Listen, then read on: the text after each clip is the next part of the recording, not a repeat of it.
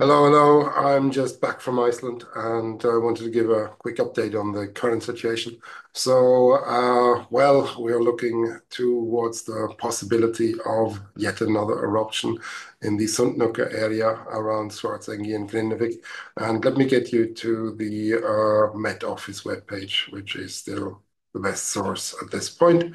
Um, I think you can see it now. So here it says that uh, deformation and seismic activity are similar to the situation prior to the previous Sundhnúkar eruptions, hinting at uh, the prospect that a similar pattern of events might unfold.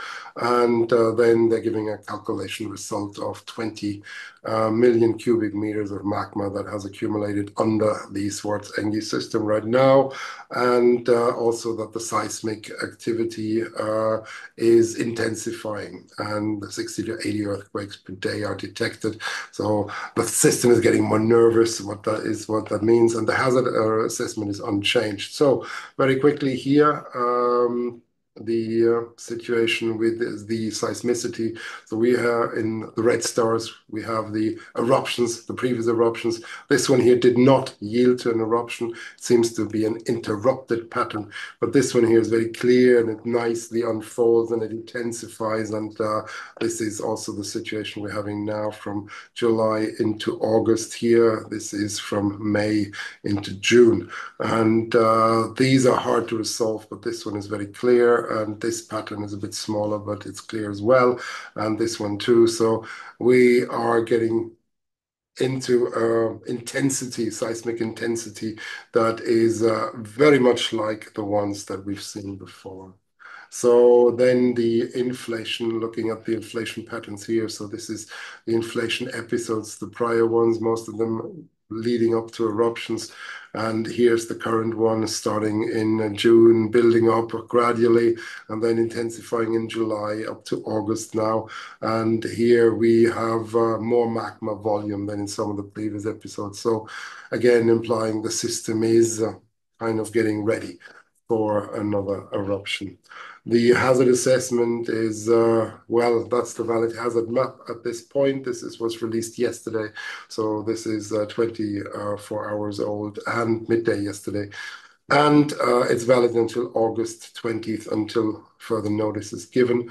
And um here we have different hazard zones. Here's the Blue Lagoon and Svartsengi power plants. This is the Grindavik Road, and here you see the lavas that went over there previously in the area between Thorbjörn and Grindavik and just north of the Blue Lagoon. And uh, they offer two scenarios. One is that uh, we might have an eruption here in this part again, zone three in particular, but the other option is zone four. If zone three applies, then we will likely have lava oozing out, coming down here within maybe two hours of the eruption starting up here, maybe a little longer, say three. Uh, but then uh, There are several places where the road, the Grindavik Road, could be actually truncated. And that, of course, is an issue. If you're stuck somewhere in there in the Blue Lagoon, then uh, this might not be a good situation. So from that point of view, be ready to um, evacuate from that area in case the eruption commences. So hazard three, uh, zone hazard um, uh, three and zone four and six, they're also at very high hazard risk. The others are only considerable because they're only secondary. But these are the high ones, are the ones where vents and new fissures are not something we can really exclude. And uh there we likely have a situation that would be continuing the Sundhnúkar Road if zone three is indeed the eruption vent site. If it's in Grindavik in zone four, then a new vents is a possibility. And that could also uh, then, of course, cover buildings, cover houses, destroy infrastructure, uh, truncate roads again, and potentially even threaten the harbor. So this would be, from a societal point of view, a much less fortunate spot for an eruption. So zone four is really not so good. Zone six could have the risk that lava comes down towards the coastal road and cuts off the coastal road. But as we see in the Icelanders can probably fix that in a few days with improvised road. So from that point of view, this might be bearable.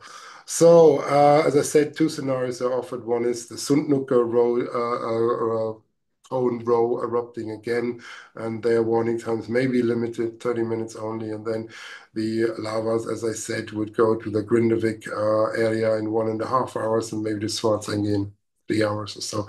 And this is the other less pleasant uh, situation, and that is that similar to the January situation, we might actually have a fissure opening up inside the barriers in Grindavik, and that could be very unpleasant. So this is the current expectations. The eruption can commence in the foreseeable future, probably at any really given point, and uh, therefore we have to be on standby. It is possible that it does not come to an eruption, but the probability of that is at the moment smaller than the probability of a renewed eruption, at least from my perspective. Okay, thank you very much, and all the very best.